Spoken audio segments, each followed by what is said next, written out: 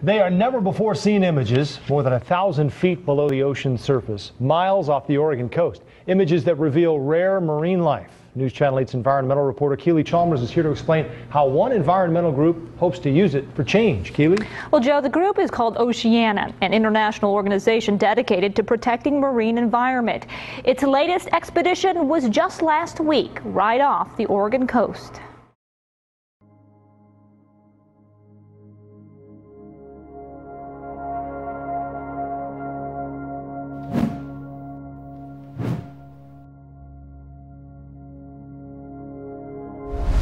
People don't get to see the bottom of the seafloor, right? You know, the only time we know it's there is because it comes up in a research trawl net or from a fishing net, uh, and that's really the only pictures that we get.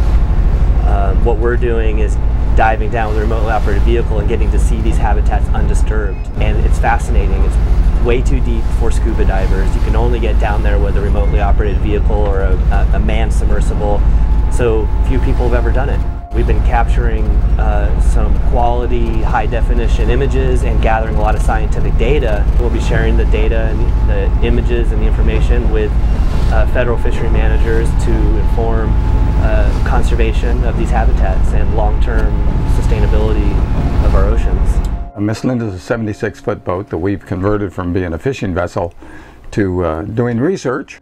I'm really, really glad to be out of that industry um, and having a research vessel. I get to go around with quite a few different scientists and uh, research organizations and have the experience of some of the leading edge discoveries that are taking place out here in our oceans and on our oceans and for our oceans.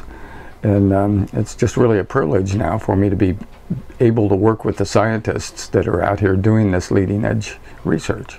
Part of the reason that we chose this area of the west coast is because this is the area that has some of the highest bycatch of corals and sponges anywhere uh, in terms of the data that we have.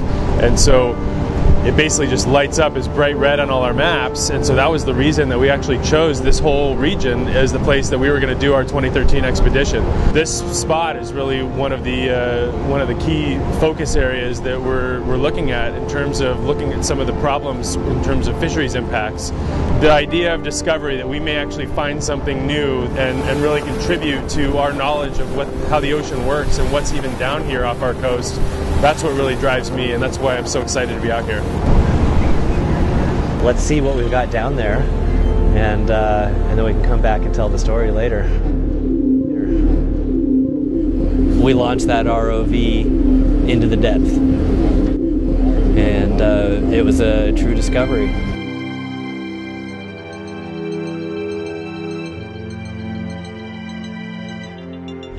The rockfish were all nestled up, every crevice of a sponge seemed to have rockfish hanging out in there, tucked in for the night. It was absolutely incredible.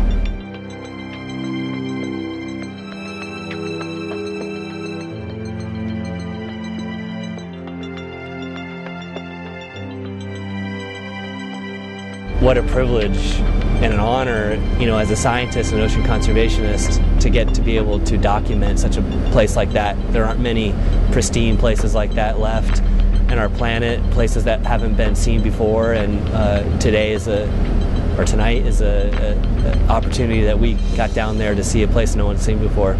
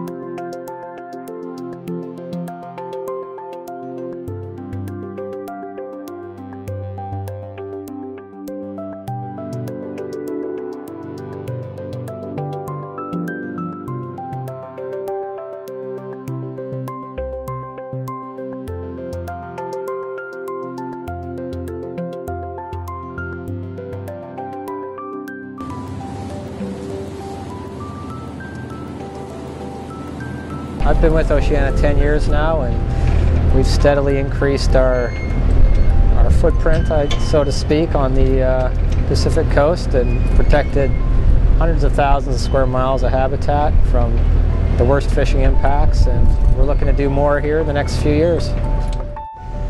I'm glad my colleagues invited me down on this mission to follow up on some protections of habitat we proposed years ago. And uh, the fellows here are fighting hard at the fish councils to convince them these areas are worth protecting. I think we're gathering a lot of information that'll help them make the right choice here.